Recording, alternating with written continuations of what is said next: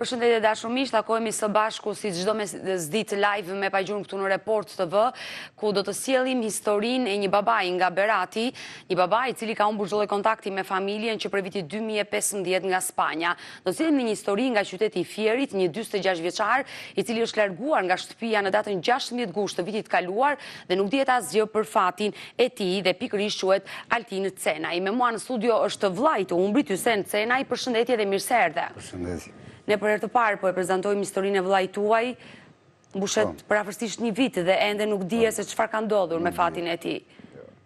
Ju, zoti Hysen, do na rrëfeni pas pak gjithë historinë, kontaktin e fundit që keni pasur me vllain, çfarë dyshoni se mund të ketë ndodhur me fatin e tij, po do t'ju kërkoj ndjesë pasi dua Të flas për një rast urgjent që kemi trajtuar fundjavën e kaluar, të dashur miq, një 46 vjeçar nga Lushnja, humbi çdo lloj kontakti me familjen, mëngjesin e 26 majit, Aleksandër Hoxha, i cili kishte probleme me shëndetin e tij mendor dhe ishte larguar nga spitali psikiatrik këtu në Tiranë. Ndërkohë ne do të japim materialin dhe pikërisht atë lidhje telefonike që kemi pasur me vllain Ferdinandin, i cili tregoi momentet e fundit dhe kërkimet që po bëheshin në terren në kryeqytet pasi dyshohesh se Aleksandër Hoxha mund të ndodhej në Tiranë. Ndjekim materialin dhe rikthehemi në studio.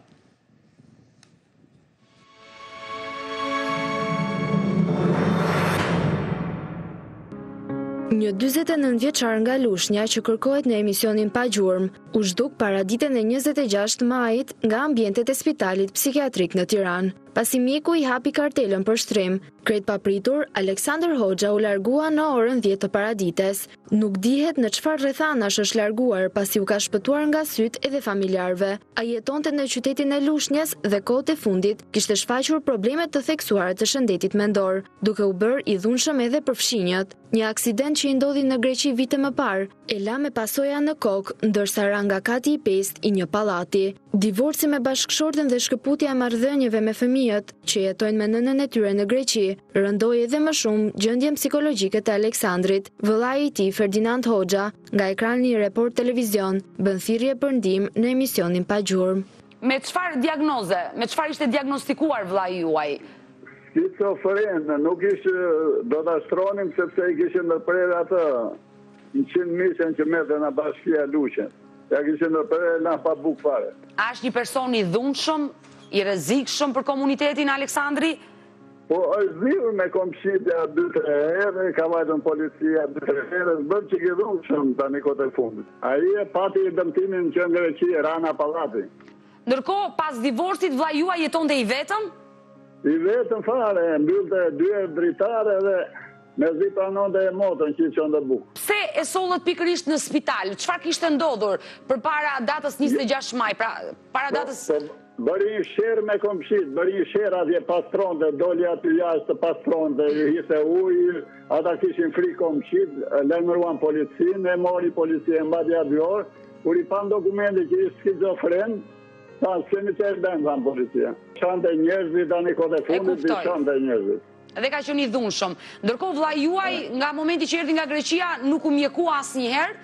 Asnjëherë, vetëm që u operua këtu, ai tha, ka nevojë për kokën, tha ky Pashku, Ai nuk donte të vinte, s'e mbanin dot, po është i dhunshëm. Pas denoncimit në pa gjurmë një dritë jeshile u ndez për familjen Hoxha, pas mbërritjes së një informacioni se Aleksandri ishte parë mbrapa Ambasadës Amerikane në Tiranë. Dje rreth orës shtatëmbëdhjetë e njëzet, e kam parë në rrugën Stavro Vinjau, mbrapa Ambasadës Amerikane. Tek ambasada amerikane, mbrapa ambasadës amerikane. Mbrapa, mbrapa ambasadës, mbrapa murit të ambasadës amerikane, po? në rrugën Stavro Vinjau, po? më saktë në krah të majtë te bar Roma, ndodhet një bar i vogël aty, e qartë. kur me rrugën për në qyteti studenti. Më ka kërkuar 300 lek të vogla, po? kam dhënë ndërkohë 100 lek të reja dhe një shishe ujë, pa gaz. Ishte i veshur shumë keq, u duk i lodhur, me rroba të zeza, me një palë kambale, kishe veshur kambale. Shikoje me vëmendje foton, pra ka ngjashmëri me personin që keni hasur ditën e djeshme? 99% jam i sigurt.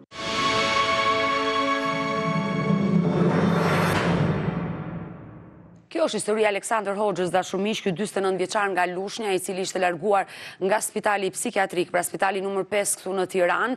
Ndërkohë momenti që e trajtuam fundjavën e kaluar historinë e Aleksandër Hoxhës mbërritën disa informacione, por informacioni i fundit që sapo e dëgjuam dhe në kronikë, ku një qytetar nga Tirana na tregoi se këtë 49 vjeçar e kishte parë pikërisht mbrapa ambasadës amerikane te rruga e Elbasanit, ku i kishte kërkuar disa para edhe ujë.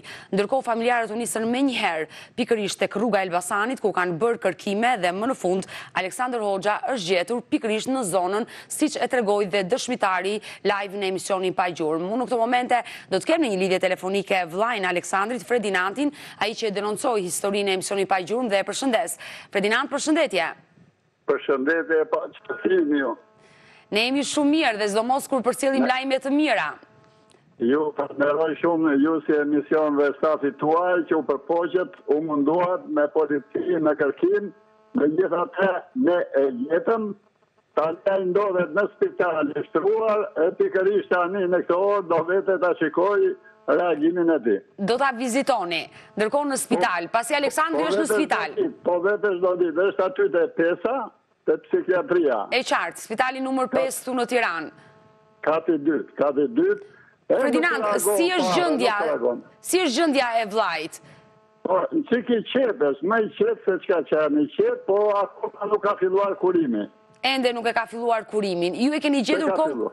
Ju konkretisht, kur them ju gjithë familjarët të cilët dor- do- dolën në terren dhe bënë kërkime, e keni gjetur pikërisht te rruga e Elbasanit, tek ajo zonë që përshkroi dhe dëshmitari, Po, i cili ishte po, i po, bindur e- që e kishte takuar.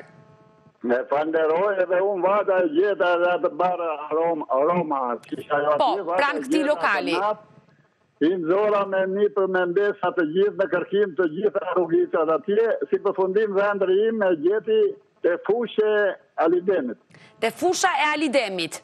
Ndërkohë që kishte lëvizur. Kishte lëvizur në mënyrë të pavetëdijshme. Normal, sepse vëllai juaj kishte probleme një jetë të vështirë. Një aksident që kishte kryer në shtetin grek aty ku ishte emigrant, solli dhe këto pasoja, pasoja të rënda po, në shëndetin po. e tij mendor.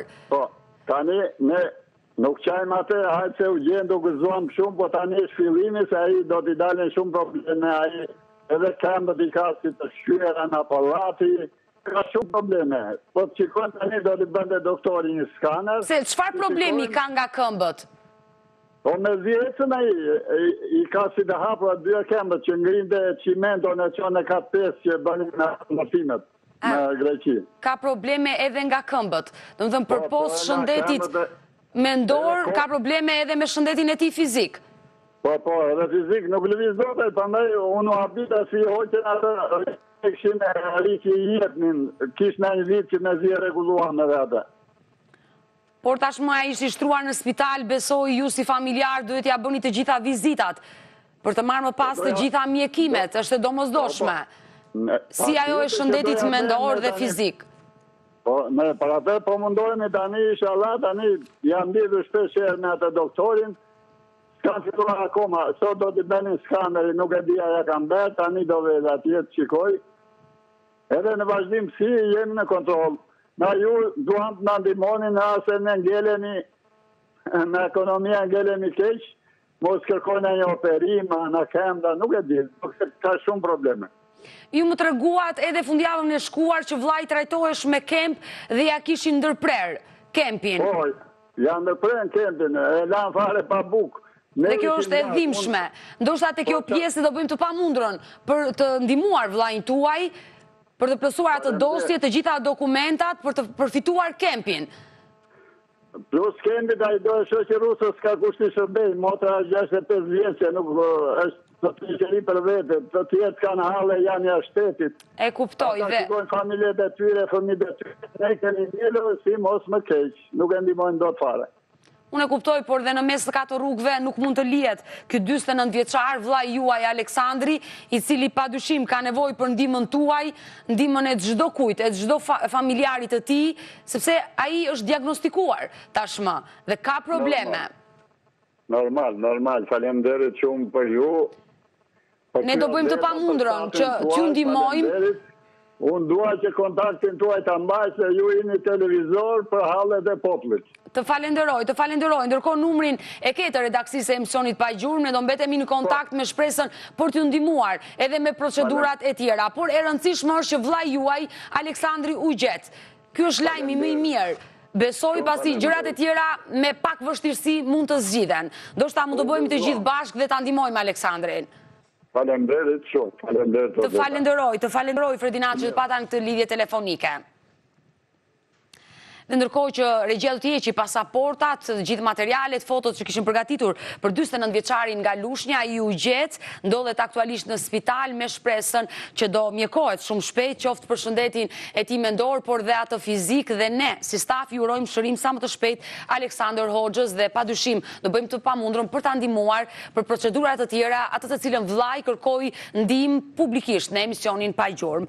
Do të kaloj te historia tjetër dashur miq, pikërisht te historia që vjen nga qyteti i Fierit, Altin Cenaj, një dyzet e gjashtë vjeçar, është larguar nga shtëpia në datën nëntëmbëdhjetë gusht të vitit kaluar Dhe ka humbur çdo lloj kontakti, drejtimi është i paditur dhe nuk dihet se çfarë ka ndodhur me fatin e Altin Cenaj. Me mua në studio është vllai i tij, zoti Hysen Cenaj, por fillimisht ne do ndjekim një material, një kronikë që kemi përgatitur për vllain tuaj dhe rikthehemi sërish në studio.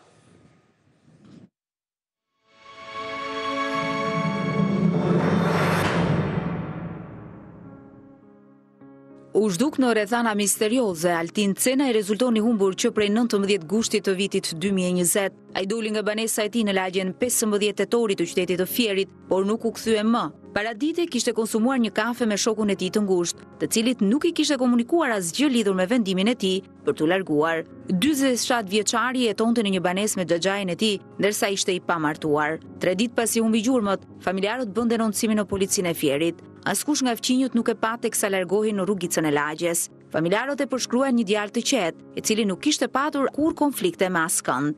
Më parë kishte punuar si mekanik, ndërsa pak para se të humbiste gjurmët, kishte mbetur i papunë.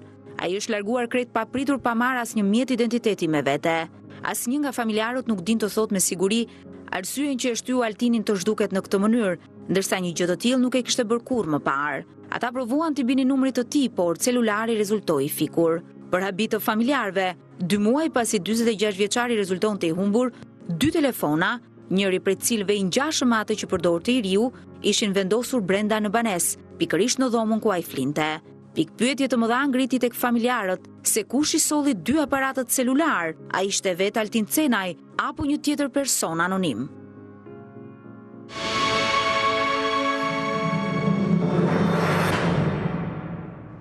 Zot Hysen, konkretisht çfarë ka ndodhur në datën 19 gusht të vitit kaluar me vëllain tuaj? Si i keni humbur ju kontaktet?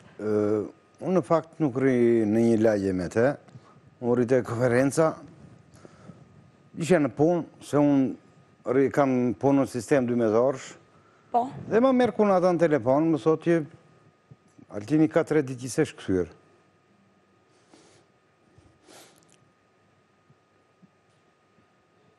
Më fal se...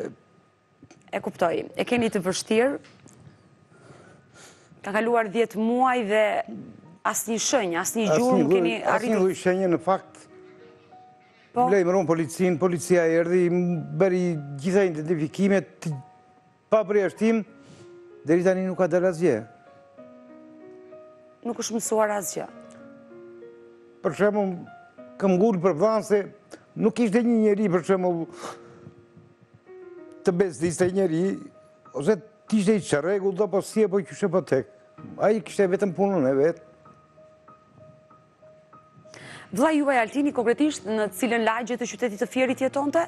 Në lagjen 15 tetori. 15 tetori. Po. Jetonte i vetëm, me kë jetonte? Ai jetonte me xhaxhan dhe me kunatën, se vllai i vogël për momentin ishte në Gjermani, punonte në Gjermani. Ai kishte dhomën e vet, Rrinte vetë, nuk...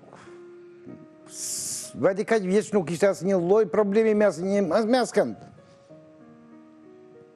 Nuk ishte problem për shembull në shoqëri, ose të ishte pijanec, apo të ishte ndonjë kumarxhi, apo ndonjë diçka.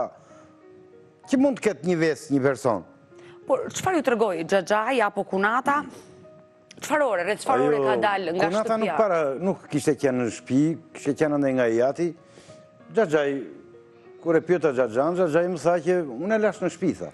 Dhe kujtova, tha se, ha se vjen vonë gjithmonë që shikon ndonjë sport, ndonjë diçka. Po. Kaloi një ditë, dy ditë, tre ditë, Kështu, erdhi verifikoi policia, i ka marrë të gjitha të dhënat nga ai, po deri tani s'ka dalë asgjë. Unë tani erdha te emisioni juaj, të paktën kush e ka parë, mund të jetë jashtë shtetit, mund të jetë në ndonjë qytet tjetër, të paktën të na japin një sinjal.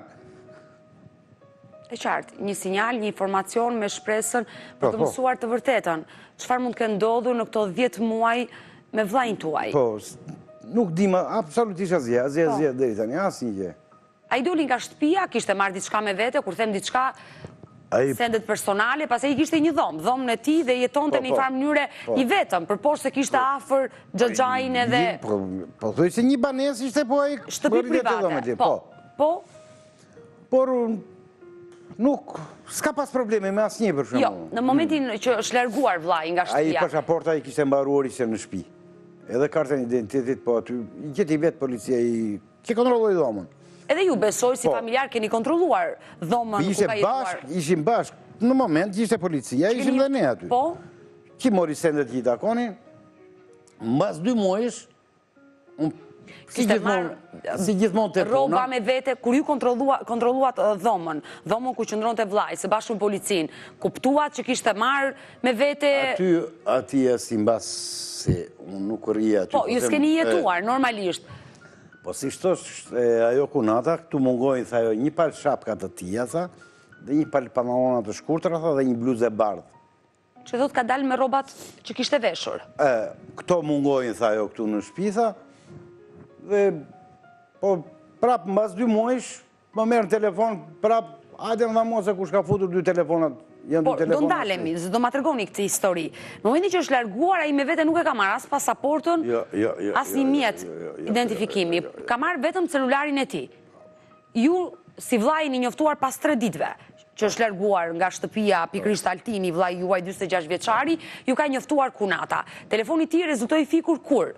Ju kur e keni provuar pas tre ditëve e keni Po po, unë e kam provuar tërë kohën, tërë kohën, tërë kohën, telefoni i tij dilte i fikur. Ka qenë i fikur.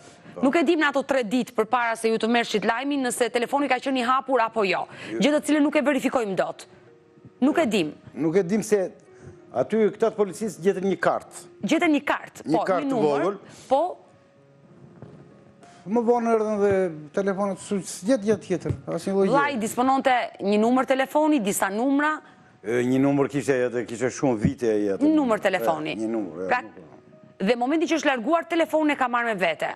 S'kishte telefon aty, kontroluam edhe në të shpis. Në banesë nuk e keni, po. gjetur? E, jo, jo, jo, jo. S'kemi gjetur asnjë. Ndërkohë, dikush në lagje e kishte parë, flasim pikërisht për datën 19 gusht apo 20 gusht. Disa thonë. Ai ishte rritur në atë lagje, e njihnin të gjithë. Të gjithë s'ka pasur as, s'ka pasur një problem në Europë. Po. Pare. Nuk ka pas probleme. Kush e kishte parë në lagje pikërisht ditën që u largua nga shtëpia dhe nuk u kthye po, më? Po gjithë lagje, fqinjtë e ke parasysh si janë të larguar tani e nuk e kanë mendjen se kur e shikon një njeri lart e poshtë, por në datë 19 para dite me vjen më ora 10 po. a 11 e gjysëm, kishte ardhur shoku nga puna, te kafeneja që pinin kafe, kishin pirë. Shoku i Altinit. Po. po. Kishin pirë kafe bashkë.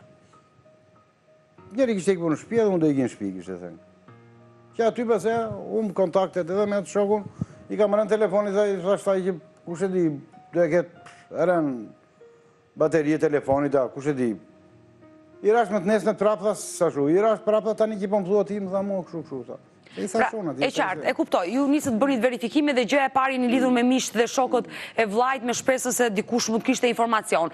Por ju keni vërtetuar që mëngjezin e 19 gushtit, ditë në cilën vllai doli nga shtëpia, është ulur në një kafene në lagjen ku banonte, 18 tetori lagja. pesëmbëdhjetë tetori, më korrigjo, për gabimet dhe ka takuar pikërisht shokun e tij.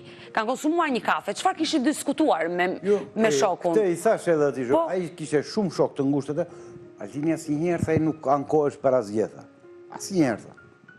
I thoshë edhe Altini gjente ndonjë punë, edhe kur gjente ndonjë punë që riparonte ndonjë po. pjesë nga këto, se me këto merresh me këto të gazit, E qartë. Këto, si të themë, këto fornellat e gazit, me një fjalë sobat e gazit, për këto, këto i njifte mirë si specialist për këtë. E kuptoj, specialist pikërisht dhe kur gjente punë, po... Zakonisht e thërrisnin këta, kur u prishte nëpër lokale, nëpër gjëra, kështu. S'është se kishte një punë, bazë, ishte... Kishte, fillimisht, po? shpërndante dhe bombola gazi, u mbyll ajo si punë, se e ke parasysh ti konkurrenca. Dhe ngeli i papunë. Ngeli i papunë, dhe kur i dilin që e thërrisnin këta që kishte riparuar gjithmonë, Vente i riparonte. E qartë. Ndërkohë, mëngjesin e 19 gushtit, pikërisht te kjo datë do ndalemi, datë në të cilën humbet çdo lloj kontakti me vllain. Edhe një herë, me shokun, keni folur gjatë, çfarë kishin diskutuar atë mëngjes bashkë? A kishte mundur dot shoku të kuptonte diçka që nuk shkonte jo, tek miku i tij? Jo, asnjë problem, tha ai kështu, tha ai vetëm, diskutuam punë pune, tha ai kaq. Nuk kishte shprehur asnjë shqetësim? Jo, jo. Jo, dhe... Kishte dal nga lokali dhe më pas nuk dihet mm. drejtimi. Ai kishte ikur për shpi dhe unë do iki për shpi, kishte thënë dhe kaq. Në shpi në të cilën nuk është kthyer vëllai juaj. Nuk është kthyer më. Dhe drejtimi është i paditur. Miq shokë të tjerë, sepse më tha, më treguat që kishte shumë miq dhe shokë vëllai. Po. Dhe tashmë jemi në transmetim live, ndoshta mund të na ndjekin. banorët e zonës ku ka jetuar vëllai juaj në qytetin e Fierit. Ore vetëm një sinjal mbase edhe kush e di nga ajo që ishte edhe pa punë, mbase është edhe zemëruar me me nea. Si mund të them për momentin Robi, të paktën të japi vetëm një sinjal, të paktën unë jam E s'dua të flas apo si apo qysh apo tek ose i lutem ndonjë njeri mos e ka parë në Greqi, në Mal të Zi a, siç po venë po punojnë shqiptarët Maqedonia ku janë në Itali. Të paktën kaq desha. A ka qenë vëllai juaj emigrant përpara? Greqi, Mal të Zi, siç Jo, në Greqi ai ka qenë shumë shpejt, fare vitet e para shumë pak edhe është kthyer. Se ka punuar në Shqipëri gjithmonë. E ka bërë një jetë i vetëm. Nuk, nuk kishte krijuar familje. Derisa ishin pleqtë gjallë. E që me baba. Jetuar me prindrit, po, po. Tani, mirë lanë ata, po jetonte vetëm. Po thuajse aty bashkë ishin, po që ai... Por nuk hmm. kishte krijuar familje jo, vëllai. Jo, jo, jo. Jo, biles edhe unë e ngacmoja herë mas herë, prit prit më thoshte mua. Ju dyshoni se ndoshta mund të ketë ndonjë hatërmbetje dhe kjo mund të jetë dhe shkaku i jo, jo, largimit? Po se mund që s'i dihet, si mund të shumë për momentin, po di që një, dha imi një njëri unë kjafë si binde, o po së nga të rëshme asë njëri një, vajti kaq vjeç.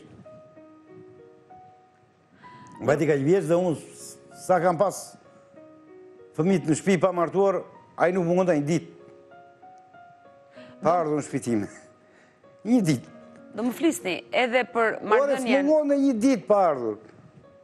Pra domethënë që ai s'ka qenë dhe kur ka qenë më i ri, nuk ka qenë asnjëherë problematik. Fare as për shoqërinë, as për ne, as për asnjeri. S'ka qenë asnjëherë. Prandaj vetëm nga kjo më vjen kështu që zhdukja. Si të zhduket kështu ky njeri kurse kur e di që e ke një njeriun tënd, është para problematik, mbase, e di që do ketë një përfundim, një ditë të keq, apo jo? Ja? Kurse ky s'kish pas qenë, më Ndaj pikëpyetjet janë të mëdha për këtë dyzet e gjashtë vjeçar që regjia vazhdimisht jep foto dhe pasaportën e Altin Cenaj, unë i bëj thirrje gjithë qytetarëve të qytetit të Fierit, kush e ka njohur dyzet e gjashtë vjeçarin Altin Cenaj, është i lutur të lidhet me emisionin Pa Gjurmë pasi Altin Cenaj figuron i humbur për familjarët e tij që prej datës nëntëmbëdhjetë gusht të vitit të kaluar, kanë kaluar dhjetë muaj përafërsisht dhe nuk dihet se çfarë ka ndodhur me fatin e Altin Cenaj, kush e ka parë të dashur miq, kush ka informacion, kush e di të vërtetën, është i lutur, qoftë dhe anonim, të lidhet me emisionin pa gjurmë, ne kemi dy numra në dispozicion, një numër fiks dhe një numër celular, por ju mund na shkruani dhe në faqen tonë të Facebookut pa gjurmë report TV. Ndërkohë, zoti Hysen, unë uroj dhe shpresoj që të kemi informacione, lajme të mira, urojmë që ai të jetë shëndoshë e mirë, mos ketë ndodhur asgjë e keqe me fatin e Altinit, sepse po ma përshkruani si një djalë që nuk, nuk ka pasur konflikte, nuk ka pasur probleme. O, fare, fare, fare dhe policia që e ka vërtetuar, të tilla gjëra më ka thënë. Ore, po, nuk marrim dot ndonjë informacion që ai ka probleme me këtë, apo me këtë, apo me atë. Biles, edhe ta shefat kështu më kanë thënë që, e, alë, burazer të njohin për njeri unë më djali më të qetë në Fier. Që nuk ka pasur probleme. Fare, fare, A i fifi, a i do, a do pinte një kafe me një shok, do bënte një xhiro, po mos kishte një punë, do kthehej shpi. Kaq. Se nëse do largohej emigrant, siç dyshoni ju, qoftë në Greqia, apo në Malin e Zi, Nuk e di. Një familjar do ta njoftonte, një shok po, do ta telefononte. Pa pa gjurmë fare. Pastaj më shumë më shumë Ngul këmbë te kjo kush pruri telefonat në shpi. Dhe këtu do ndalemi, sepse këtu nis misteri dhe pikëpyetjet e mëdha. Pas sa kohe nga humbja e vllait ju gjeni një telefon në banesë? Dy telefona, një telefon i vogël fare, ai ishte pa bateri më duket, ku di gjë, pak a pak. Po. I vogël shumë nga ata të vjetrit. Po. Dhe një telefon i ngjashëm tamam si telefoni i tija. Telefonin, e kishte telefonat i kishte konstatuar kunata kur kishte hyrë te dhoma. Dhe ishin vendosur në dhoma? Telefonat në karrige. Ishin në një karrige, vendosur të dy telefonat. Morëm policinë telefon. Pas sa kohe nga humbja? Pas dy muajsh. Pas dy muajve. Po. Pas dy muajsh. Që i bie tetor. Po. Tetor të vitit të kaluar, dy po, po, telefona po. vendosen Po, mbi një karrige që kush i ka futur? Po, aty është misteri... Kush ka hyrë në atë shtëpi private? Po, kush hyri? Tani, kur na tha më lajmëroi? Direkt lajmërova dhe policinë... A kishin numër telefoni ata telefona? Erdhën ata të policisë, po? morën telefonat, fotografuan gjithçka, nuk gjetën asnjë lloj gjurme. Nuk e di, gjetën gjurma, a s'gjetën gjurma. Ato janë hetimet e tyre. Sepse policia ka qënë në shtëpi, ka bërë kontrolle dhe nuk ka gjetur këto dy telefona. Më përpara jo. Nuk kanë ekzistuar. Po. Dhe nuk kanë qënë telefonat e vllait. Jo. Kanë qënë telefona, aparat celulari, apo kanë pasur dhe numër brënda? Nuk e di. Policia, unë s'i preka me dorë, fare. Fare. Nuk i preka me dorë. Nuk e keni pyetur policinë? E kemi pyetur, tha që i kemi çuar për ekzaminim, po s'kanë kthyer përgjigje akoma. Ndoshta nga puna kësaj pandemisë që mos iu kujtoftë emri, arsye tjetër nuk e di. Unë tani erdha te emisioni juaj. E kuptoj. Thashë, s'dihet ishalla masë. Dhe bëtë shumë mirë që e bëtë publike historinë e vllait, me shpresën që mund të ketë informacione dhe lajme, por askush nga familjarët nuk kuptoi apo nuk ndjeu sepse të hysh në një shtëpi private ku jeton xhaxhai me familjen, kunata. Po prandaj se ajo kunata e çonte çunin në shkollë, më shumë rrinte nga i ati. Edhe ky xhaxhai moshatar dilte, e ke parasysh si dalin moshatarët shtatëdhjetë e ca vjeç. Po. Dilte nga shtëpia, pse niste në një, vinte përdallë me ndonjë shok muhabet, pothuajse shtëpia e vetëm ishte. Mund, e kuptoj, mund të ketë qenë vetë Altini ai që mund të ketë hyrë dhe të ketë lënë këto dy telefona? Pa, përse po di, pa po ta di, nuk e di. E dyshoni këtë gjë? Dy telefona që ju nuk e mësuat asnjëherë, nëse kishin një numër, ishin funksionalë, punonin, apo... Nuk na kanë kthyer përgjigje akoma. Po kanë kaluar shumë muaj, ende nuk keni marrë një përgjigje nga policia. S'kemi marrë akoma për punë e telefonave. Ndërkohë që policia edhe kur kanë mbërritur në shtëpi pas tre ditëve nga zhdukja e vllait, gjeti dhe një kartë telefoni. Po, po. A u mund të zbulohej nga ajo kartë? Po, nuk na nuk na kanë dhënë informacion. Ishte përdorur si numër telefoni, mesazhe, kontakte. Nuk na kanë dhënë akoma. Ku di unë sepse vonojnë këta me këto ekzaminime. Ndërkohë ju keni bërë një denoncim, por ende nuk keni marrë asnjë përgjigje. Asnjë lloj përgjigje. Tani s'kemi marrë përgjigje se ku di unë e ka e tu si thot ai e ka ky e ka ai. Çështja po- ka kaluar në prokurori. Po, ka kaluar në prokurori çështja. Po- Jeni interesuar? Ka qenë kjo punë e pandemisë dhe nuk të, e ke parasysh nuk mund të merrje dot as informacion. Dhe nuk keni marrë informacione. Por besoj çështja është në hetim. Është në hetim çështja, po... Sepse tashmë ka disa gjurmë, është gjetur një kartë telefoni përpara se tre ditë pasi vëllai të zhdukej, dy muaj pas zhdukjes, dy telefona vendosen në dhomën ku ka jetuar vëllai juaj, ndërkohë që shumë mistere. Vetëm për këtë më vjen mua, kush pruri telefonat. Dhe, këtu i ngulkëm kush ka prur telefonat, diku është vëllai im. S'ka shumë. S'ka. Por ju i keni parë telefonat, jeni të sigurt që nuk kanë qenë telefonat e vëllait? Jo, një telefon ishte origjinal si telefoni i vëllait. Por mund të ketë qenë dhe telefoni i vëllait? Edhe mund të ketë qenë. Po ishte origjinal. Kurse ai tjetri s'e di, se pse ishte. Nuk e di atë. Dhe një telefon tjetër? I vogël. I vogël, e qartë. Ndërkohë që ai mund të ketë qenë dhe telefoni i vëllait tuaj. Po edhe mbase nuk e di. Ju për momentin. Po duket që ishte i vjetër shumë. Po. Kurse edhe ky, jo se ishte telefon i ri. Jo, flas për po, telefonin që ishte në një të njëjtin model si i vëllai. E kuptoj, po flas për telefonin që mund të ishte dhe i vëllait tuaj, i Altinit. Ju nuk e provuat në moment... Nuk e preka fare me dorë... E qartë, po t'i binit numrit, nuk e provuat... Jo, jo, numrit po... Po i ratë, ishte i fikur. Fikur. Mi vjel, jo, aty nuk i rashë numrit, se edhe mendjen e kisha të prishur, por nuk i preka me dorë, vetëm për shkak të... E qartë, se keni njoftuar menjëherë policinë. Policia. Sepse... Për shumë kush i pruri, kush s'i pruri, si të kenë një shenjë dore është qa lëngë ta. Ka qenë pikërisht kunata, që ka shkuar të hapi dhomën dhe ka gjetur dy telefona. Mm. Në karrige, po. Dhe është e habitshme. Dera më ishte me kyç. Dritarja pak e hapur. Pra, edhe dritarja ka qenë e hapur. Menjëherë grila e dritares, një çikë kështu, pak e hapur, pra e rosje. Nuk mundte askush të futej nga dritarja me atë hapësirë që jo, ishte po, lënë. Policia si në filmimet që bëri, po. nuk kishte shenja Futje nga dritarja.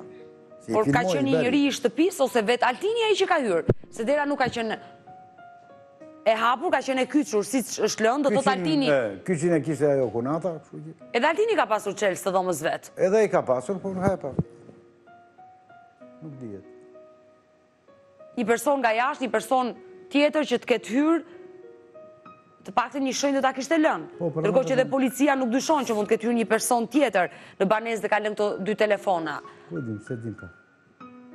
Nëse ka qenë vërtet Altini, ai që mund të jetë rikthyer në dhomën e tij dhe ka lënë telefonat. Ore ne donim vetëm kaq. Pse fshihet? Ta dinim, ta dinim këtë që është gjallë dhe kaq.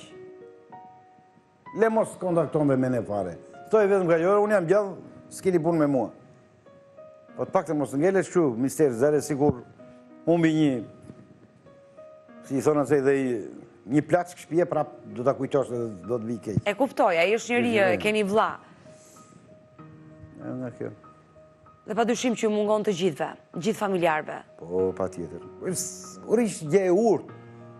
Nuk, nuk na solli, kur ishte mosha, mosha e adoleshencës, ai nuk na solli njëherë shqetësim në shpi, nuk patëm ndonjëherë problem nga ai rob. Ju kur keni folur për herë të fundit, ju kujtohet? Po, aty te sheshi në Fier, Që jeni takuar, po? Ai ishte duke kaluar, unë kthehesha nga puna me biçikletë, se ishte edhe një çikë ngarkesë e makinave, i fola, ça bën, po dal një çikë në hamo të takoj një shok, e mirë unë po kthehem për shpi, dhe shumë. Mirupafshim, mirupafshim, kaq, kalimthi. A jeni takuar me miq, me shokë të tjerë në Fier të vëllait, Jeni interesuar, sepse vetëm një shok jeni takuar me atë që ka konsumuar kafen mëngjezin e nëntëmbëdhjetë gushtit. Edhe me një shok tjetër prapë që rrinte herë mbas here ai, s'e kam parë dhe i kam rënë telefonit se ai nuk bie. Del i mbyllur, tha. Si ka qenë gjendja e vëllait kohët e fundit? Ndoshta jo takimi i fundit që jeni takuar rastësisht në Fier, por kur jeni ulur si vëllezër keni folur. Edhe kështu nuk para hapesh shumë ai, e kupton? Ka qenë një tip i mbyllur. Ka pas qenë një çikë si tip i mbyllur kështu, nuk para shu. Nuk fliste për problemet, gjërat e tij personale, nuk i ndante me familjarët. Tani, jo, nuk ankohesh, e ke parasysh, nuk ishte një tip që të ankohesh shumë. Nuk para ankohesh. E kishte shprehur dëshirën se donte të largohej nga Shqipëria, Jo. meqënëse kishte ngelur i papunë kohët e fundit? Jo, jo, mua s'më kishte thënë asgjë. Vetëm kishte këtë për shembull. Po me familjarë të tjerë. Edhe kur e merrja po. unë në telefon, për shembull, që isha te puna. Po. E merrja në telefon, hajde këtu vinte menjëherë. E për shembull, vinte, nuk hezitonte për shembull për të ardhur. E pyesja si je, si dukesh, gjete ndonjë punë, gjete ndonjë punë, pinim ndonjë kafe. Jo, akoma thoshte kur më del ndonjë punë kështu. Mirë, mirë. Nuk më thoshte ndonjë gjë për shembull të sikletshme. Pra ju nuk kishit kuptuar asgjë. Pra, Por kontakte me familjarët e tjerë? Ndoshta jo me xhaxhanë që jetonte në, në një banesë, po flas me motrën, me familjarë të tjerë? Edhe me motrën që kemi këtu në Tiranë, edhe me motrën fliste herë mbas here, por nuk, kishe, nuk i kishte thënë gjë as motrës. Nuk kishte shfaqur ndonjë diçka kështu. Ndërkohë që kjo është pasaporta televizive që ne kemi përgatitur për Altin Cenaj të dashur miq, është 46 vjeç, vendlindja Fier, është larguar nga shtëpia mëngjesin e 19 gushtit të vitit kaluar, ka humbur nga qyteti i Fierit, drejtimi është i paditur, kemi nevojë për ndihmën tuaj të dashur miq, nëse e njihni Altin Cenaj dhe u bëj thirrje gjithë qytetarëve të Fierit, nëse e njohin Altin Cenaj, kanë informacion, Janë të lutur të lidhen menjëherë me redaksinë e emisionit Pa Gjurmë, por edhe me policinë, pasi tashmë është bërë denoncimi edhe nga ana e familjarëve në Policinë e Qytetit të Fierit. Kanë kaluar dhjetë muaj dhe nuk dihet se çfarë ka ndodhur me fatin e Altin Cenaj. Ai doli nga shtëpia mëngjesin e nëntëmbëdhjetë gushtit, me vete ka marrë vetëm celularin e tij, nuk ka marrë asgjë nga dhoma, banesa ku jetonte, ndërkohë që vëllai në studio po më tregon se pas dy muajve humbjes së vllait, në dhomën e tij gjenden dy telefona të tjerë, dy telefona që menjëherë u njoftua policia dhe janë tashmë në polici, por nuk dihet nëse kanë pasur numër telefoni, janë bërë verifikime me kë ka pasur kontaktet e fundit, ndërkohë që çështja ka kaluar në prokurori, po bëhen hetime. Po, po. Por ju nuk keni marrë asnjë njoftim. Deri tani jo, akoma. Meqë ka qenë kjo pandemia, a ke parasysh? E qartë, por ditët, javët, muajt kalojnë, po. Unë uroj dhe shpresoj që ne të marrim lajme të mira për Altin Cenaj, ne për herë të parë e prezantuam historinë e tij, kanë kaluar 10 muaj, ndërkohë që do lidhemi edhe ne me policinë e qytetit të Fierit për çdo informacion që mbërrin në redaksinë e emisionit pa gjurmë dhe t'ia kalojmë në kohë reale edhe ju si familjar por edhe policisë për ta ndihmuar me shpresën për të arritur në gjurmët e vëllait tuaj. Por nëse ai është shëndosh e mirë, por nuk i dimë rrethanat arsyet pse nuk telefonon me ju dhe nuk e dimë se ku ndodhet, por Nëse vllai na dëgjon, kush është mesazhi që do t'i përcjellësh? Vetëm kaq na thuaj, jam mirë. Vetëm ta di, vetëm kaq. Edhe në qoftë se nuk ka kurajo, të na dërgoj me njeri të paktën. Ore unë jam mirë, ndodhem filan vend dhe kaq. Ndoshta, edhe problemin që mund të ketë, mund të kërkojë ndihmën e gjithë familjarëve, ju jeni të gatshëm për ta ndihmuar. Po, po, po, po, se ne nuk e dimë në çfarë rrethanash mund të jetë. Po, të paktën të dimë një, të dimë një diçka të paktën. Edhe në qoftë se marrë se, le që me ne s'ka asnjë lloj problemi, as me mua, as me vlan tjetër, as me motrën, as me njerin, Po të paktën të dërgojë një haber të paktën, sikur edhe me një njeri tjetër. Ore, unë kam këtë hall a, kam atë hall a, jam mirë dhe nuk dua të vij a, dua të plas a. Edhe sikur s'e tha me gojën e tij, ta tregojë me një person tjetër. E keni dyshuar se ndoshta mund të jetë larguar dhe jashtë Shqipërisë në mënyrë ilegale? Po çfarë s'bën vaki? S'e di.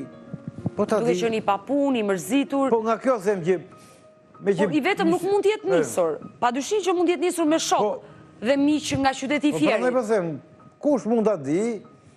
Paktën na japë një informacion, o re. Është jashtë shtetit, është në Greqi, është në Itali, si është që ta dim që të paktën ne I kemi marrë si i thonë se po i përballojmë të gjitha gjërat. Për të mirë e për keq, po ishalla dalshim për mirë. Të jetojë për vete të paktën. Unë uroj, ta uroj me zemër që në fakt gjithë familjes tuaj të marrim informacione, mos ka ndodhur asgjë e keqe me fatin e vëllait tuaj, ne do mbetemi në kontakt, do vazhdojmë kërkimet tona me shpresën për të gjetur një vendndodhje të mundshme. Të falënderoj, të falënderoj Ysen që të pata në studion e emisionit Pa Gjurmë.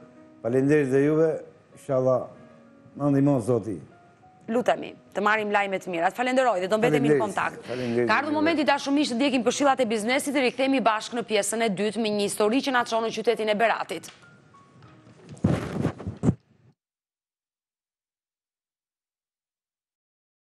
Jemi rikthyer në studio dashur miq dhe në këtë pjesë të dy do të flasim për një tjetër person i cili ka humbur që prej vitit 2015 nga Spanja. Bëhet fjalë për Guri Hoxhën, 49 vjeç, baba i dy fëmijëve i cili u largua drejt Spanjës dhe humbi kontaktet me bashkëshorten, me fëmijët, me gjithë familjarët, pikërisht në vitin 2015 nga Madridi, aty ku ishte vendosur për disa muaj dhe Dëshironte të largohej Guri Hoxha nga Spanja drejt Anglisë, por se çfarë ka ndodhur me fatin e tij ende nuk dihet. Unë në studio jam me vëllain, me zotin Luftar Hoxha. Përshëndetje dhe mirë se erdhe. Mirë se u gjeta.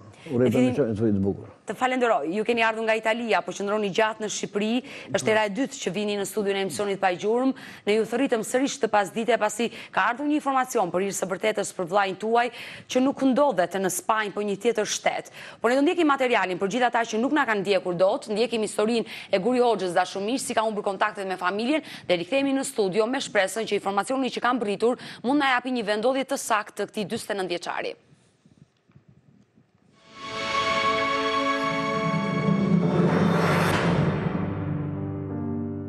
Guri Hoxha është një dyzet e nëntë vjeçar nga Berati, i cili humbi kontaktet verën e vitit dy mijë e pesëmbëdhjetë nga Madridi i Spanjës. Ai telefonoi për herë të fundit të vëllanë, ku i pohoi se ndodhej pikërisht në këtë shtet, ndërsa kishte tentuar të largohej drejt Irlandës. Guri Hoxha ka emigruar që herët në disa shtete, fillimisht në Greqi, Itali dhe Irlandë në vitet 2000. Ende pa krijuar familje, ai ka punuar në Irlandë për afro 7 vite, i pajisur me dokumenta të rregullta. Me kthimin e tij në Shqipëri nisi punë në qytetin e lindjes në Berat, ku edhe u martua. Babai i dy fëmijëve vendosi të emigronte sërish, kësaj here drejt Spanjës. Aty e prisnin disa nga shokët e tij, emrat e të cilëve familjarët nuk ua mësuan kurrë. Viti 2012 e gjen 49 vjeçarin në Madrid, deri në këto momente, kontaktet me familjen në Shqipëri i kishte patur të rregullta. Plani i tij ishte të zhvendosej drejt Irlandës, aty ku kishte punuar vite më parë, por ndalohet në kufi dhe kthehet sërish në Spanjë, ku edhe humbi çdo kontakt. Familjarët tentuan të lidheshin me Guri Hoxhën, duke e telefonuar në numrin me të cilin ai komunikonte shpesh, por telefoni rezultoi i fikur.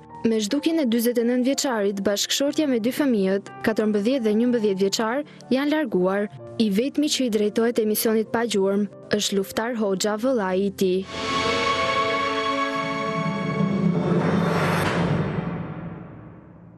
Luftar, do ta kujtojmë dhe njëherë bashkë historinë, si keni humbur ju kontaktet me Gurin.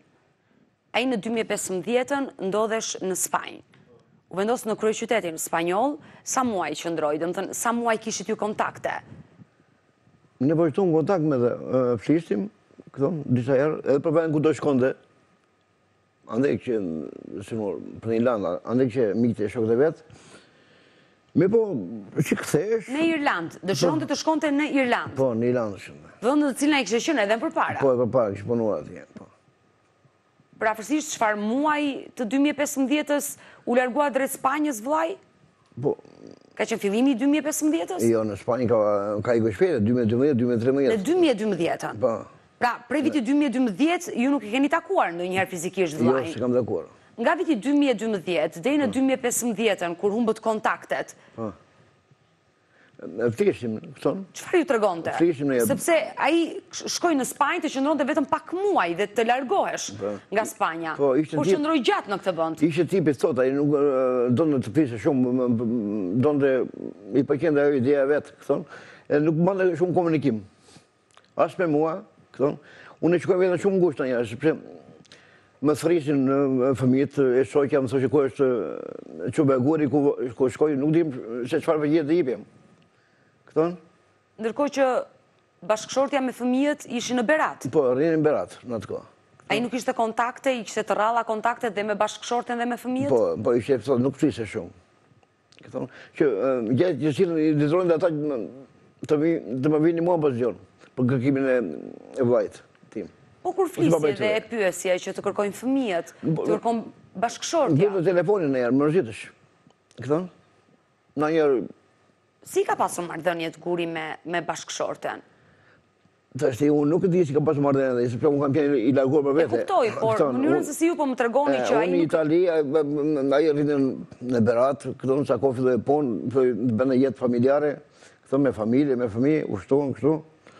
Kështu që nuk arrita të kuptoj se çfarë marrëdhënie kishte, marrëdhënie familjare me të shoqen. Po, po derisa ka bërë fëmi, ishin të mira. E në fakt, Të sjellësh në jetë fëmijë nuk do nuk tregon që ka qenë një marrëdhënie e shëndoshë. Po. Po derisa ka sjellë fëmijë, marrëdhënie e shëndoshë ka qenë, kupton? Më vonë koha bëhet vetëm, sepse Çfarë ju ka treguar? Ka menduar. Nusja e Gurit. Ju ka rrëfyer jetën që ka bërë me vllain tuaj në Berat, si i ka pasur marrëdhëniet, pasi ajo gjithmonë e ka kërkuar. Po. Dhe në momentin që ai nuk i hapte telefonin, ajo ju merrte ju në telefon. Po, po, është e vërtetë. Kërkonte ndihmë, që çfarë ka ndodhur me Gurin. Është e vërtetë. Unë s'kam biseduar në mënyrë kështu afërsisht me me të shoqen e vllait tim, me kunatën time. Do ta kesh pasur të vështirë edhe për ta pyetur, ju ju kuptoj për këtë pjesë. Jo, ku ishte ajo kush më me me, kupton? Mosha, largësia, po nëpërmjet telefonit, flisja sa herë, e kërkonte. Kërkonte. Ndërkohë që ju kur e njoftonit Gurin, vllain në telefon se është bashkëshortja që po të kërkon, ai ta mbyllte telefonin. Mbyllte telefonin, nuk ishte tip kështu. Në mënyrën se si po ma tregoni duket sikur ai i kishte dhënë fund asaj martese. Po, përderisa thoshte jo, Po për fëmijët, nuk interesohej? E po kjo është e keqja. As për fëmijët. Ka një djalë dhe një vajzë. Po. Sa vjeç janë sot fëmijët e Gurit? Po aq, afër, një 13, 11 nuk e di, diçka tjetër kështu. E kërkojnë babain sot? Po, e kërkojnë disa herë. Unë jam ndodhur në pozitë të vështirë. Edhe në telefon ndonjëherë. Di gjë për babin... Ju pyesin, edhe nipi dhe mbesa. Domethënë vajza më shumë. Ndërkohë bashkëshortja vazhdon të qëndrojë tek shtëpia ku e la Guri? Jo, ka ikur nga shpia, që e la Guri, në Berat, rri tani te i ati, në Durrës. Ka shkuar te babai i saj, me gjithë fëmijët? Me gjithë fëmijët. I është drejtuar gjukatës, ka kërkuar divorc, apo vazhdon të jetë ende e martuar? Nuk e di. Nuk e di. Ça ka bërë, mirë në seja. Sot ju keni kontakte me nipin dhe mbesën me fëmijët e Gurit? Jo, që atëherë i kam, i kam prerë marrëdhëniet.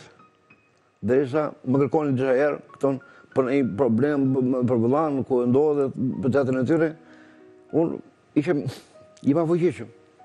Çfarë të thoshim? Për t'u dhënë një përgjigje. Për t'u dhënë një përgjigje fëmijëve, fëmijëve, vjehrrit, të shoqes, të vllait. Ne nuk e dimë nëse e kanë parë emisionin pa gjurmë fëmijët apo bashkëshortja.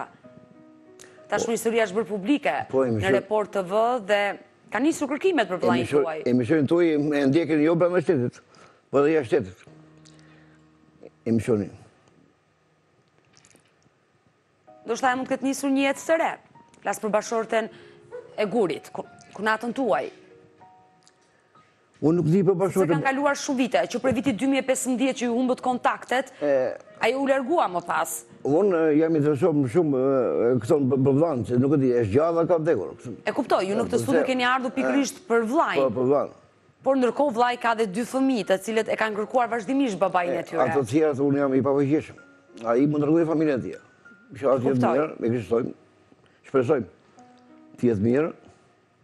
Ne urojmë që mos ketë ndodhur asgjë e keqe me fatin e vllait tuaj. Por nga historia që keni prezantuar në studion e emisionit pa gjurmë, ndoshta mund të ketë përfunduar në burg, e keni menduar? Në burg. Po jo, nuk ka shumë, je në burg në Spanjë për të tilla gjëra. Shumë pak burg, ai po bën kohë, po bën 7 vjet. Ndoshta nuk e dim çfarë mund të ketë ndodhur, me sa mund të jetë dënuar, por ju keni udhëtuar vetë drejt Spanjës. Po. Keni bërë kërkime për vllain. Po. Ndërkohë jeni lidhur me shqiptarë, më saktë me banorë nga vendi nga vini, nga qyteti i Beratit, po. të cilët dhe ata kanë qenë në Spanjë dhe kanë njohur vllain tuaj dhe ju po. kanë dhënë informacione. Më tregoni dhe për pjesën e kërkimeve që keni bërë pikërisht në Madrid, aty ku vllai juaj humbi. Po, në Madrid, në një vend që më thoshin Po? Sepse e kemi parë, e shkoja këtu kudo, kam ndenjur tre-katër ditë vetë atje. Këtonë? Nuk gjeta ndonjë, ndonjë haber, ndonjë, ndonjë gjurmë. Nuk. Gjatë kohës që qëndroi në Spanjë, nga 2012-a deri në 2015-ën, kishte tentuar të shkonte në Irlandë, sepse atë, atë kishte shprehur tek ju po, të paktën. Po, rrinte me shumë njerëz. Në Spanjë, ca shkonin, ua bënte mbarë zoti, rrugën ua hapte, ca të tjerë, si puna e vllait tim, ktheheshin. Pra vllai juaj nuk kishte mundur dot të kalonte, jo. gjithnjë në mënyrë ilegale, po, po. drejt Irlandës. Po. Por më treguat që ai jetonte me shumë njerëz. Me shumë njerëz. Por këta njerëz, pa dyshim shqiptarë besoj. Shqiptarë, ja. A i keni takuar, se dikush mund ta dijë, çfarë ndodhi me fatin e tij.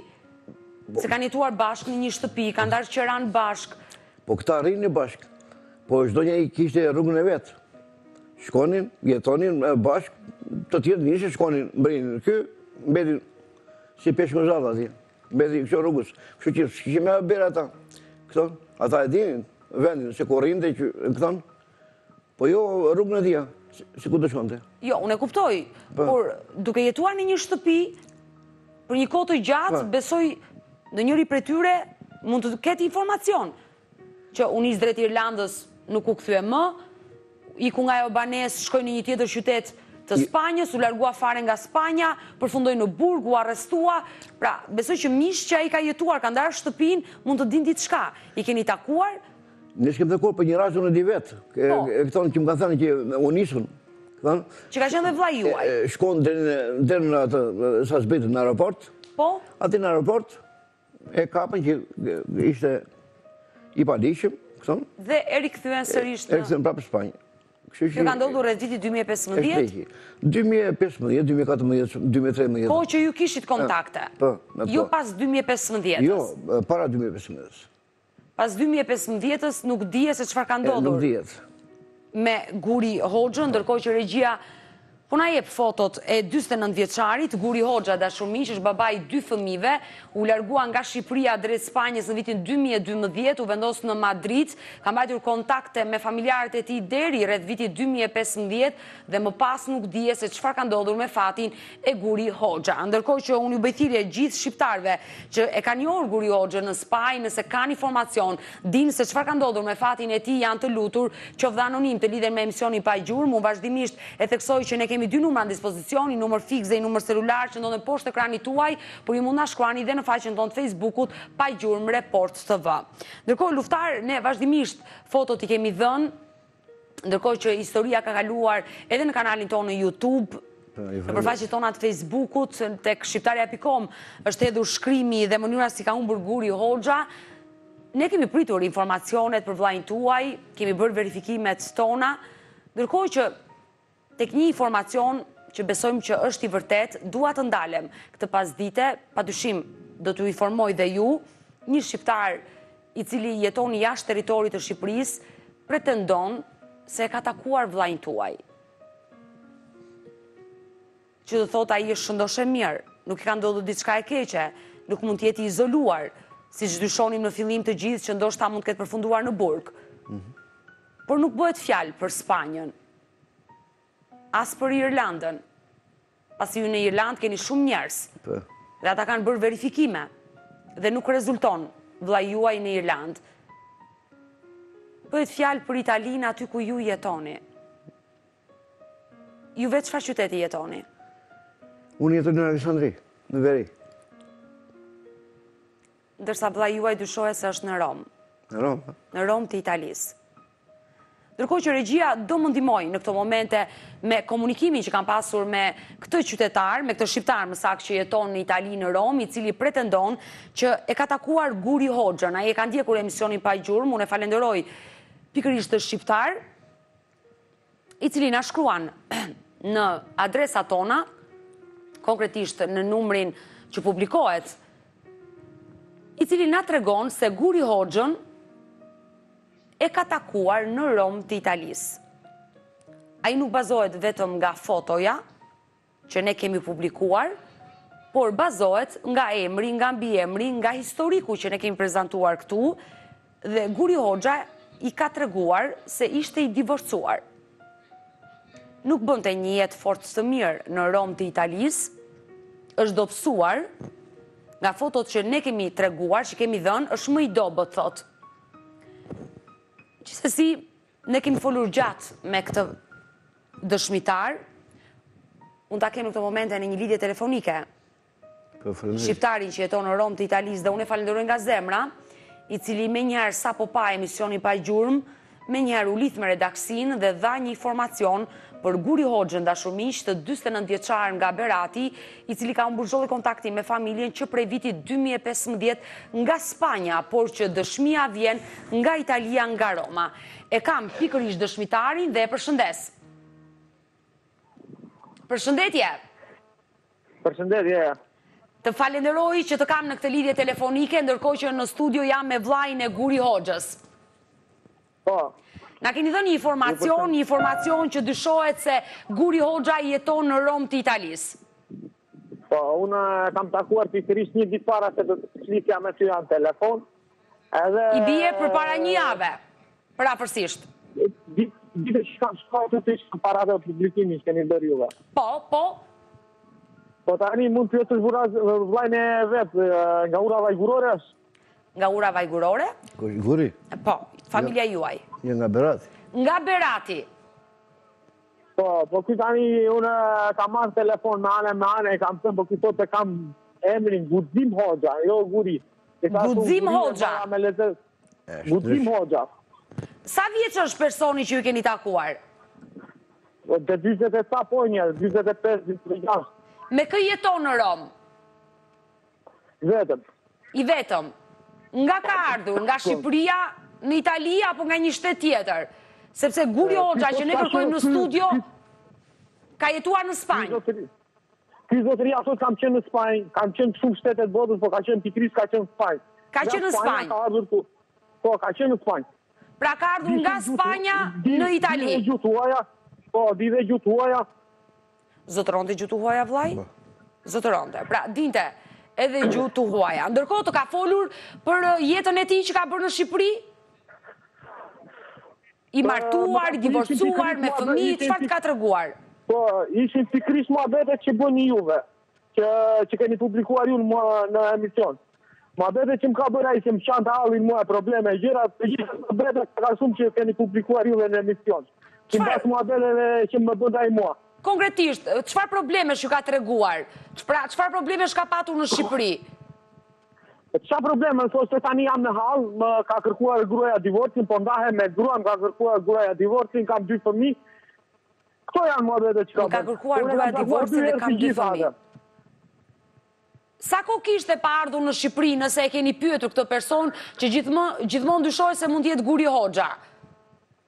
Ai ka shumë kohë pa ardhur në Shqipëri, po sot në ka vajtur e nuk e ka ditur njeri, e ku di muhabetet e atij, se unë mua më është duk një person i pabesueshëm se më ka kërkuar shumë herë, më ka kërkuar shumë herë lekë, gjëra, do t'i shpërblej, do t'i kthej, na këto muhabete që bëjnë shqiptarët. Ju ka kërkuar edhe para borxh? Po. A punonte ky person në Romë? Domethënë me çfarë merrej? Jo, nuk punon, nuk punon, nuk punon. Ky më vetëm mbështetet nëpër njerëz, e kupton, me muhabetet e veta. Ku gjen mbështetje, mbështetet. Sa ko ka? Nuk punon, asnjë punë. Sa kohë ka, pikërisht, ky person që gjithnjë dyshohet se është Guri Hoxha, që ka ardhur në Romë të Italisë? Unë e kam marrë mbas emisionit që pashë në telefon e i thashë, ore, kam takuar një me emrin Hoxha, po që ta provokoja. Tha, unë e kam emrin Gëzim, Hoxha, jo Guri Hoxha, tha, e kupton, e ka pyetë për ty, thashë unë. Që mos ta kuptonte që për emisionin, se pastaj më largohet edhe mua. E kuptoj, gjithsesi ne urojmë që ai ta shikojë emisionin, të njoftohet, të reagojë. Ndërkohë që është vllai që do të bëjë një pyetje, besoj. Po, po te kamera këtu përballë, drejtohu dhe po. Po. Përshëndetje i dashur. Përshëndetje. A ka mundësi të lutem të pyes në çfarë vend të Romës e ke parë? O bro, në Romë, unë rri në Romë, që na viti 2000 rri në Romë. E ky zotria më ka ardhur për natë, muhabete, muhabete, se ai nuk punon kurrë. Ai vetëm më ikën qytet, qytet, shtet, në shtet, ku gjen mbështetje, nëpër shqiptarë. E po. kupton? Po, dhe ju ka thënë se është nga Ura Vajgurore. Më ka thënë që jam nga Ura Vajgurore, kam shpi në Durrës, do të lë shpinë qoftë se ke besim te mua, me një shpi, jam i ndarë nga gruaja, më ka kërkuar gruaja divorcin, kam dy fëmijë, i kam të mëdhenj, 13 vjeç, nuk e di se sa më ka thënë. Dy herë e kam takuar, edhe më ka kërkuar sa herë e kam takuar, më ka kërkuar lek, do ta shpërblej, do ta bëj, e kupton.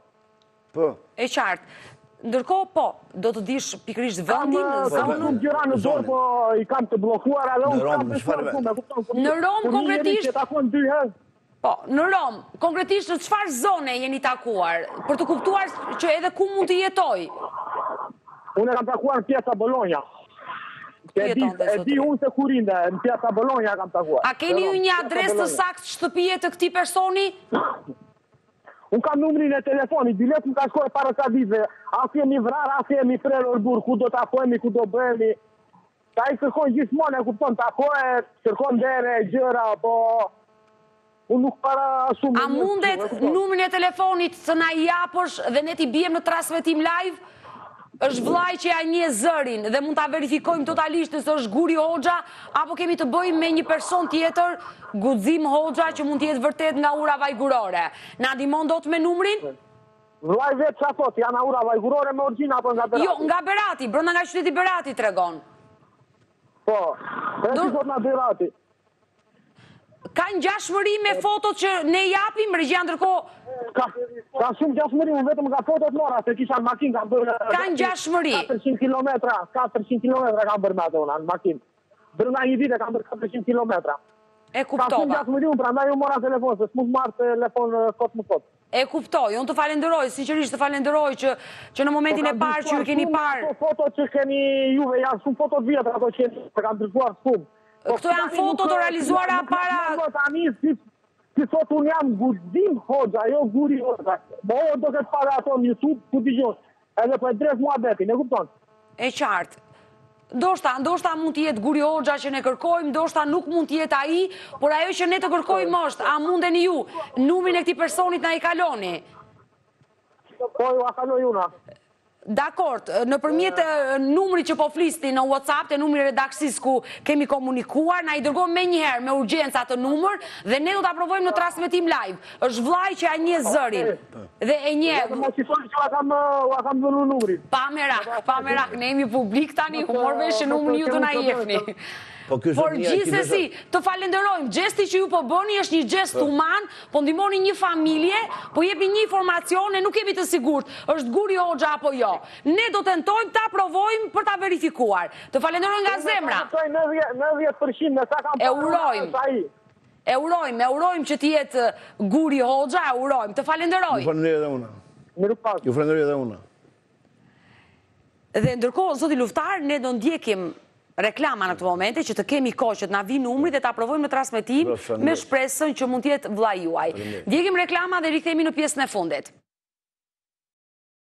Jemi rikthyer në studio dashur miq dhe në fakt përpara se të dilnim në reklama.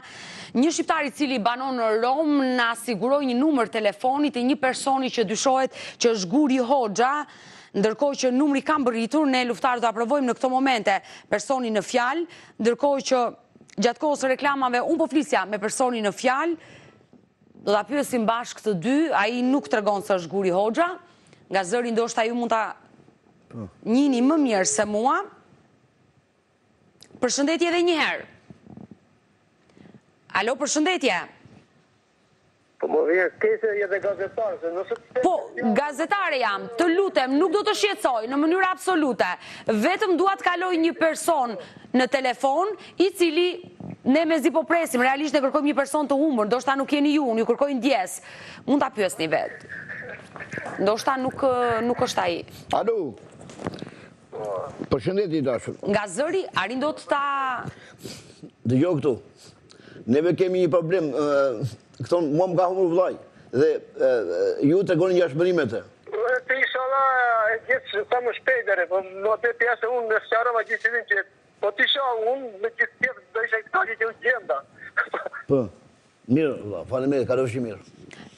Nuk është ai. Të kërkojmë ndjesë, të kërkojmë ndjesë dhe të falenderojmë. Po. Po, po, kujdes, edhe mikrofonin. Jo, çështja është serioze sepse unë ju tregova, flitet për një person nga qyteti i Beratit që ka humbur kontaktet. E kuptoj, ka ngatërresë, gjithsesi të kërkojmë ndjesë dhe të falenderoj. Edhe unë uroj që ta gjeni sa më shpejt atë edhe E urojmë të gjithë. Të falenderoj, zotri. Pra, personi në fjalë që sapo folëm, Luftar nga zëri, jo nuk është ai. Por gjithsesi ne falenderojmë atë shqiptar, i cili jetonte në Romë, që kishte takuar rastësisht këtë person, dhe ndoshta vendlindja, Berati, mosha, ngjarja, edhe ky person kishte jetuar në Spanjë, dhe ndoshta disa detaje u lidhën dhe menduam se mund të ishte Guri Hoxha, por fatkeqësisht nuk është Guri Hoxha. Dhe rikthehemi sërish në Spanjë, aty ku ai humbi, ndoshta mund të jetë ende në Spanjë vëllai juaj, por mënyrën se si ju e rrëfyet historinë që ai nuk ka qenë i rregullt me kontaktet, nuk kontaktonte shpesh, mund të ketë ndryshuar numër telefoni. Po. Çfarë nuk mund të ketë ndodhur? Ai Pas shumë kohë që... që... Po? Ndaloi komunikimin me neve, po? telefoni binte, kupton, po s'e hapte kush telefoni i binte. Pra, ju e merrnit, tentonit ta po. merrnit telefon po. dhe askush nuk përgjigjej. Jo. Dhe sa qëndroi ky numër i hapur? Po, gati një vjet, se ç'a fa? Pra, përgjatë gjithë vitit 2016. 2015, 2014, që atëherë humbëm atëherë kontaktet. Kontaktet. Dhe ai nuk përgjigjej. Nuk përgjigjej. Telefoni binte, se s'e ngrinte kush. Binte numri. Por, kishte ndonjë hatërmbetje, ndoshta ju i kërkonit më shumë llogari po, seç duhej, por ju si vëlla kërkonit më të mirën, që ai të lidhej po, po. me fëmijët. Po. Ndoshta mund të jetë kjo arsyeja që ai e mbylli telefonin më pas? E, po kjo mund të jetë. E keni menduar se ndoshta mund të ketë nisur një jetë të re? Ka harruar familjen e tij në Shqipëri? Gruan, fëmijët? Nuk më merr mendja. Çfarë dyshoni ju? Çfarë dyshoni ja? Çfarë tha ai që rri kërko borxh? Njeriu po s'punoi do kërkojë borxh, borxh njërit, borxh tjetrit, jeton e këtë, jo. Shkatërrohet njeriu, prishet. Dyshoni se mund të ketë përfunduar rrugëve? Edhe rrugës mund të ketë përfunduar. Pse? Pse e dyshoni këtë gjë? Ndoshta në telefonatat e fundit arritët të kuptoni diçka? Po, përderisa ai humbi kontakt me fëmijët e vet, po. ma merr mendja që Është shkatërruar nga ana psikologjike si njeri. A ka pasur probleme vëllai juaj në dijeninë tuaj? Keni arritur dot të kuptoni diçka? Jo, nuk kam Unë s'kam në jo shafë vllaj. Jo, me aq pak sa ju keni arritur të flisni në telefon, se dhe telefonatat kanë qenë të rralla mes teje dhe vëllait. Me kë person nga familja fliste më shumë vëllai juaj, që mund të hapej, mund të tregonte problemet? Nuk ishte i tillë që ai vetëm me nënën ra më pas. Nëna na la këtu. Vetëm me të, i vetmi njeri që komunikonte ishte nëna. Nuk fliste as me motra, as me vëllezër. Ka qenë tip i mbyllur. Ishte tip i mbyllur shumë. Por ju mendoni se ai mund të ketë përfunduar rrugëve? Në qoftë të jetë gjallë, se... Ç'bëhet? Ndërkohë që regjia do ta japi dhe një herë pasaportën televizive të këtij 49 vjeçarit me shpresë se unë do bëjë thirje me shpresën se dikush mund na japi informacion, mund na marri në telefon që e ka njohur Guri Hoxhën, dashamirës, jemi në kërkim të Guri Hoxhës, është baba i dy fëmijëve, u largua drejt Spanjës pikërisht në vitin 2012 dhe humbi çdo lloj kontakti me familjarët në vitin 2015 nga Madridi. Ai aktualisht i bie të jetë 49 vjeç. Kanë kaluar disa vite dhe nuk dihet se çfarë ka ndodhur me fatin e Guri Hoxhës, i cili gjithnjë në familje shprehej se dëshironte të largohej drejt Irlandës, gjë të cilën ka tentuar disa herë gjatë kohës që ishte në Spanjë, por nuk ka mundur dot. Ndërkohë ju bëj thirrje nëse e njihni Guri Hoxhën, pasi Guri Hoxha në Madrid ka jetuar, ka bashkëjetuar në një shtëpi me shumë shqiptarë, shqiptarë dhe pikërisht qytetarë nga Berat. Ju bëj thirrje gjithë qytetarëve të Beratit, nëse dinë të vërtetën se çfarë ka ndodhur me fatin e Guri Hoxhës, janë të lutur të lidhen menjëherë me emisionin Pa Gjurmë, pasi është vëllai ai që e kërkon dhe nuk ka asnjë kontakt që prej vitit dy mijë e pesëmbëdhjetë. Vetëm përpara pak minutave, ne na mbërriti një numër telefoni nga Italia, ku dyshohej se Guri Hoxha mund të kishte përfunduar në Romë të Italisë, jemi lidhur live me personin që i kërkojmë ndjesë, i cili deklaroi që nuk ishte Guri Hoxha, ishte një tjetër person, po nga qyteti i Beratit, kishte po të njëjtën moshë, vinte po nga Spanja, pra shumë të dhëna, shumë detaje, Që përkonin me dyzet e nëntë vjeçarin Guri Hoxha që ne kërkojmë në këtë studio, por nuk ishte ai, po bëhesh fjalë për një person tjetër. E në fakt zoti Luftar aty ku dukej se ishim shumë afër po. gjetjes së vllait, nuk ishte ai. Fatkeq. Ne do t'i vazhdojmë kërkimet tona. Ju faleminderit. Ndoshta kemi nisur tashmë edhe bashkëpunimin me ambasadën tonë në këtë shtet për të bërë verifikime, se ju vërtet keni shkuar në Spanjë, në Madrid, po. keni bërë verifikime në disa zona, po, siç ju po. kanë thënë... Po, zona private, kështu... Shqiptarët që e njihnin Gurin, por ju nuk keni bërë një denoncim në atë jo. vend, nuk keni bërë kërkime, ndoshta mund jo. të ketë përfunduar në ndonjë burg, gjë të cilat ne do bëjmë të pamundurën në ditët në vijim, t'i verifikojmë me shpresën për të mësuar, se çfarë ka ndodhur me fatin e Guri Hoxhës. Ju falenderoj. Unë uroj që në ditët në vijim t'ju japim lajme të mira për vllain dhe uroj që nipi dhe mbesa t'ju marrin në telefon, mos t'i humbisni të paktën kontaktet me ta. Shumë faleminderit. Ndoshta ju jeni xhaxhaj dhe nuk keni asnjë lloj faji në këtë mes për atë që bëri vllai juaj. U largua pa adresë. Kam detyrim. E kuptoj. Jeni xhaxhai dhe ai është nipi dhe mbesa, është gjaku juaj. Po, është e vërtetë. Por nëse Guri ne na ndjek, por s'i dimë arsyet, rrethanat, çfarë mund të ketë ndodhur me fatin e tij, me jetën e tij në këto vite, Ke një mesaj për t'i përcjellë vllait? Unë veç të jetë gjallë një, këton, se, po bën kohë. Ju uroni dhe luteni që ai të jetë gjallë. Të jetë gjallë, ta ruajë Zoti, këton. Po, për fëmijët, të thoi. Të marrë guximin dhe të telefonojë për fëmijët. Për fëmijët, si janë. Që besoj, jo besoj, po që prej 2012-ës nuk i ka parë. Po, edhe fëmijët, të gëzojnë që i kanë babanë gjallë. Si për ata qe vdekur. Fëmijë. Këta rriten nga nëna e tyre. Po. Uroj. Uroj që të marrim lajme të mira, ndërkohë kanë ngelur edhe pak minuta në dispozicion, do t'i shfrytëzoj për të dyja pasaportat, për dyja historitë që trajtuam pikërisht sot në emisionin pa gjurmë. Në pjesën e parë, dashur miq ne sollëm historinë e 29 vjeçarit nga Lushnja që dhamë lajmin e mirë për gjetjen e tij, ai u gjet falë gjithë informacioneve që mbërritën në studion e emisionit pa gjurmë, kështu e startuam pasditen e sotme, ndërkohë në pjesën e parë sollëm një histori nga qyteti i Fierit, Altin Cenaj, që regjia më ndihmon në këto momente me pasaportën televizive, Altin Cenaj dashur miq është 46 vjeç, vendlindja Fier, u largua nga shtëpia mëngjesin e 19 gushtit të vitit të kaluar, Nga Fieri, dhe drejtimi është i paditur, kanë kaluar dhjetë muaj dhe nuk dihet se çfarë ka ndodhur me fatin e dyzet e gjashtë vjeçarit Altin Cenaj. Unë ju bëj thirrje dashur miq që nëse e njihni, keni informacion, qoftë dhe anonim të lidheni menjëherë me emisionin Pa Gjurmë ose të njoftoni edhe policinë e qytetit të Fierit aty ku është bërë denoncimi nga ana e familjes dhe tashmë kanë nisur edhe hetimet për këtë ngjarje pasi dy muaj pas humbjes së Altin Cenaj, dy celularë gjenden në dhomën ku ai banonte. Unë uroj dhe shpresoj që në ditët në vijim ne të marrim lajme të mira.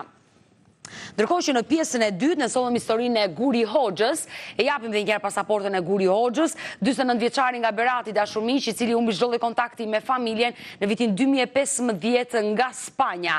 Ndërkohë që mbërriti një informacion nga Italia, u verifikua në kohë reale, ishim në transmetim live, Nuk ishte Guri Hoxha, ndaj rikthehemi sërish në pikën zero, në Madrid, aty ku humbi kontaktet, ju bëj thirrje gjithë shqiptarëve që jetojnë në Spanjë, nëse e njohin Guri Hoxhën, kanë informacion, janë të lutur të lidhen menjëherë me emisionin pa gjurmë, unë vazhdimisht e theksoj, ne kemi dy numra në dispozicion, një numër fiks dhe një numër celular, por ju mund na shkruani dhe në faqen tonë të Fejsbukut, Pa Gjurmë Report TV.